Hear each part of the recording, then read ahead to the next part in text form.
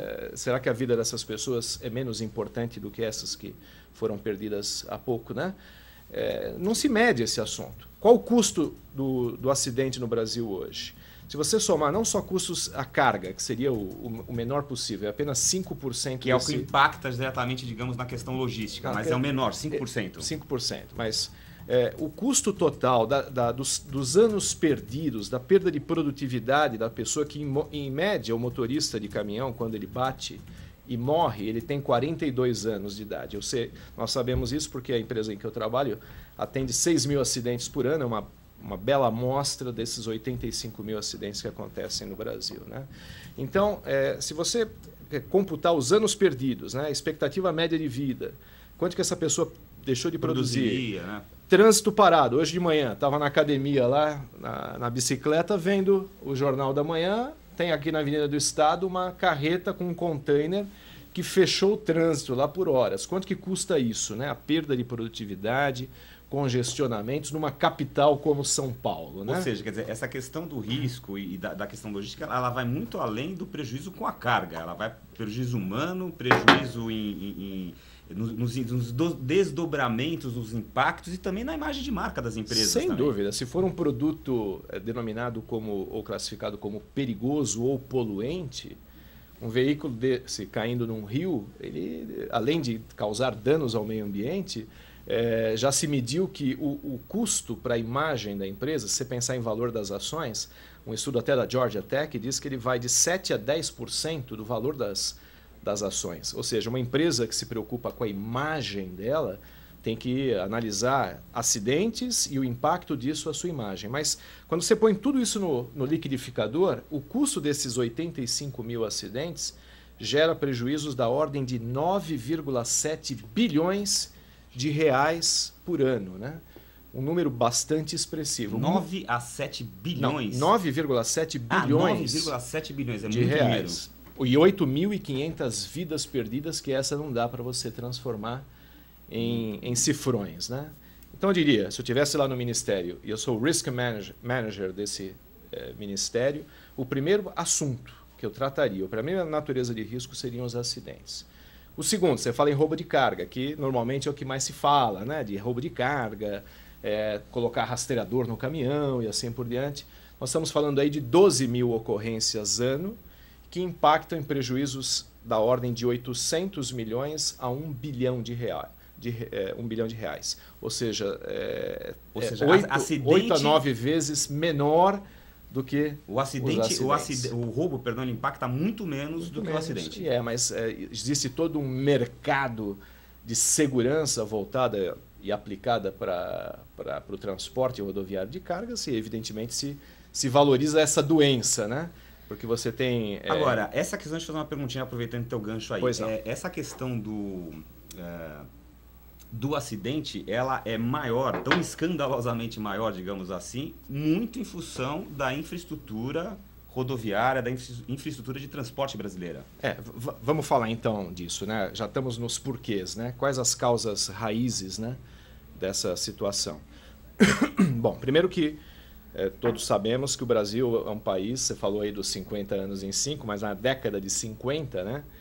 Do Juscelino lá, se investiu fortemente em rodovias. O Brasil, a matriz de transporte brasileira depende fortemente do transporte rodoviário de cargas, né?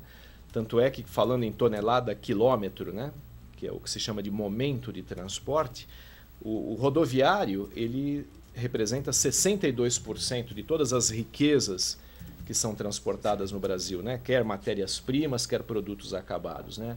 O ferroviário ele vem bem depois, com 21%. Muito diferente dos Estados Unidos, né?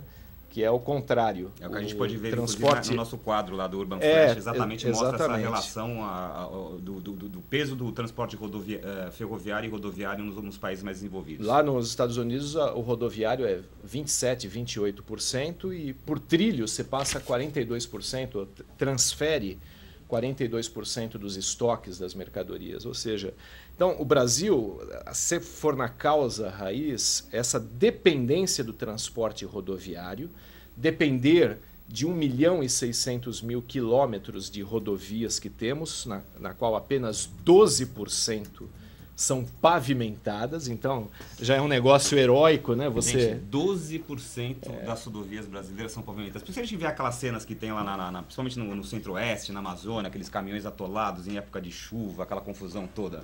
É, é uma loucura, né? Um, é um, o, o motorista de caminhão, uma empresa de transporte, são verdadeiros heróis para fazer chegar no mercado interno para 5.600 municípios aí por meio de estradas nessas condições. Mas tem mais um fator, né? Hoje a frota brasileira ela conta com uns 2 milhões e 200 mil caminhões, que são dirigidos por, também esse número ele não é preciso, mas 1,8 milhão de motoristas. Certo. Tá? O, o ponto é o seguinte, que esses motoristas, apenas 15% deles são funcionários de empresas de transportes. Tem a carteira assinada, que é empregado, que você treina, que você é, regula. Uma carreira, uma estabilidade, você enfim consegue fazer todo um desenvolvimento daquele profissional, digamos. Dá treinamento, né? acompanha, né? você coloca os sistemas de rastreamento nesse, nesse veículo pilotado por esse, conduzido por esse motorista, ou seja, você acompanha jornadas de trabalho e assim por diante. 85% que sobra são terceiros. E dentro dessa categoria você tem uma classe muito sofrida que é a classe dos autônomos, ou é, chamados também de carreteiros. Que são motoristas que eles têm caminhão próprio ou eles não têm caminhão, tanto faz? Às vezes sim, às vezes, sim, às, vezes, vezes eles dirigem o caminhão de, de, um, de, um, pequeno frotista pequeno que frotista. tem um ou dois caminhões, né? Enfim, é, mas o ponto é que esse motorista ele não tem vínculo com nenhuma transportadora. É, ele ganha por missão de transporte realizada ou seja, ele ganha por produtividade. Se tiver carga, ele ganha. Né? Aliás, ele ganha só quando ele entrega a carga no destino e o destinatário assina um canhoto. Ou seja, esse cara fica esperando, esse herói, né? ele fica esperando para carregar o caminhão, às vezes demora horas num terminal de embarque. Aí ele, ele pega uma estrada dessas aí, todas, todas esburacadas, né? pega, lá uma BR-381, né? lá né? em Minas Gerais cheia de buracos, sinuosa, né? E aí ele vai chegar para descarregar, por exemplo, num porto, e aí ele fica dias parado e ele só vai receber quando ele fizer a entrega. Dirigindo um caminhão com mais de 20 anos de idade. Essa é a média, Darcio, do, do, do, do caminhão do, dos ter, não, da, não da, da frota não. brasileira, mas da, da, dos terceiros. Dos terceiros, Especialmente okay. dos autônomos. Né? Tá. E esse homem dirige por dia 18 horas. Não é porque ele é um viciado em direção, é porque ele precisa pagar a conta. Porque senão não consegue no, no final consegue, do mês. Né? É por isso que também entra nessa questão também de rebite, essas coisas, o pessoal às vezes critica muito, mas a coisa não é bem assim, né? Quer dizer, tem toda essa estrutura, toda essa engrenagem que está fazendo esse motorista agir dessa maneira. Pois é, é ele não toma rebite, né? É, para ficar height, né? Aliás, é. desculpa, rebite, para quem não sabe, é um, é um, seriam anfetaminas que muitos motoristas de caminhão acabam tomando para se manterem acordados e conseguirem ficar mais tempo ao volante. Desculpa, Exatamente. Né? Então, ele faz isso. Ele, veja bem, com um caminhão velho desse, com uma velocidade de cruzeiro menor do que um supernovo né? Um, de uma empresa de transporte, você tem que imaginar esse caminhão carregado de soja subindo né? num, num aclive. Né? Claro que ele vai ter é, menor torque, menor velocidade. O que acontece? Demora mais. Quando tem uma ladeirinha, ele aproveita. Aproveita. Né? Ou então, quando ele está parado numa parte da rodovia cheia de buracos, o que, que ele faz? Se o patrimônio fosse seu, é o teu ganha-pão caminhão, você vai andar numa velocidade menor, Cuidado. desviando daquele. driblando os buracos. Né? Aí, quando a estrada fica melhor, você vai fazer o quê? Mete o pé no acelerador. Só que no final dessa reta tem uma curva e aí ele tomba e capota. Eu só fiz questão de frisar isso porque tombamento e capotagem são os principais eventos geradores desses 85 mil acidentes e são os que mais matam e que mais causam prejuízos materiais. É importante saber isso. Aí você vai perguntar, mas por que, que tem tombamento e capotagem? Porque o Brasil tem um problema de infraestrutura né? É interessante as rodovias é, que foram construídas e que estão hoje aí é, sendo usadas, elas foram é, construídas no tempo do Império.